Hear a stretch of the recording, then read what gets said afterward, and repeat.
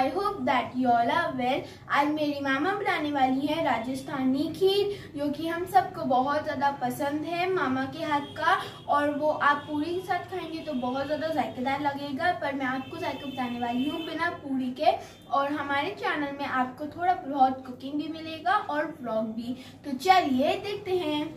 हम राजस्थानी स्टाइल का खीर बनाएँगे। उसके लिए हमने एक कटोरी शक्कर लिया है।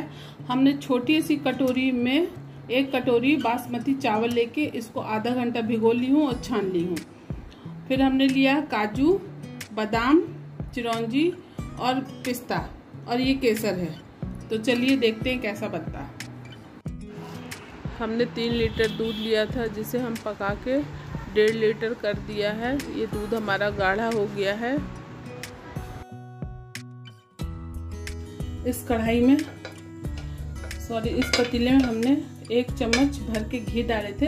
अब इस घी में ये चावल धुले हुए चावल अब फूले हुए चावल इसमें डालेंगे। ये राजस्थानी स्टाइल का खीर है।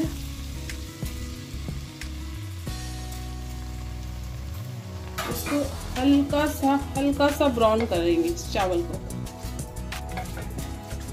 ये एकदम रबड़ी स्टाइल में बनता है, बहुत जायकेदार और बहुत मज़े का बनता है।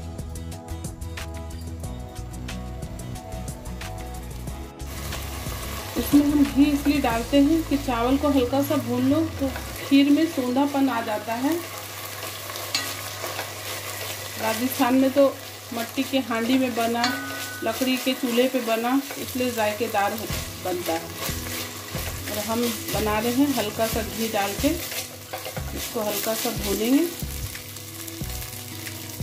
ये चावल हमारा भून चुका, अब इससे अच्छी खुशबू आ रही है सोंधी सोंधी अब इसमें हम डालेंगे पूरा ढाई लीटर दूध मलाई के साथ।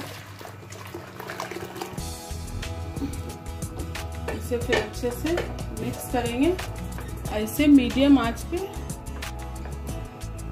अभी पकाएँगे। जब ये खीर में खोलने लगेगा तो इसको धीमी आँच पे पकाएँगे।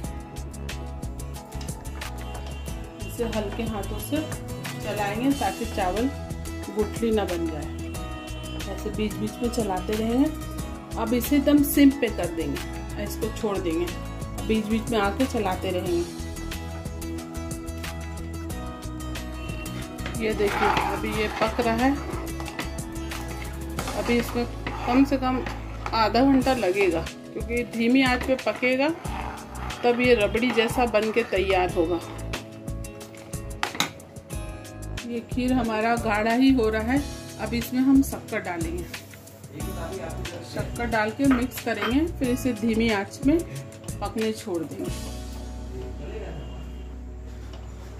थोड़ा सा हमने इसमें केसर डाल चुके हैं, बाकी खीर रेडी होने के बाद डालेंगे। ये हमारा खीर रेडी हो चुका है, रबड़ी स्टाइल राजस्थानी खीर।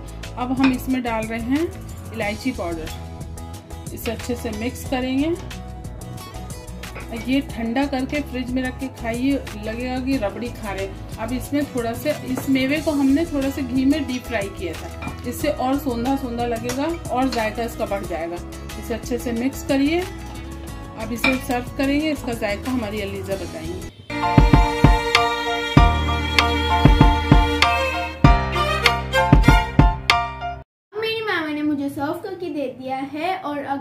आप इस खीर को नॉर्मल खाएँगे तो भी अच्छा लगेगा।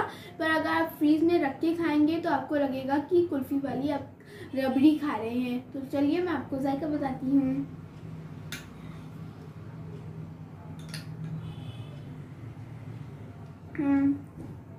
बहुत ज़्यादा जायकेदार बना है।